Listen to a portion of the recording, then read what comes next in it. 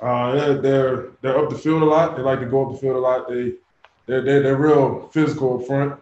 They can do a lot of things. They can stop the run and pass for us. So I mean, I got to get into playbook, film, everything. So it's gonna be a good test this week. Uh, I was I was into the playbook a lot. I was after every meeting I was in my playbook. Before meetings I was in my playbook because I knew uh, I had to come here and perform. I needed to come here and be ready. So Coach Pollack told me that from jump. He needed me to hit the ground running. So I took that personally and got into my playbook.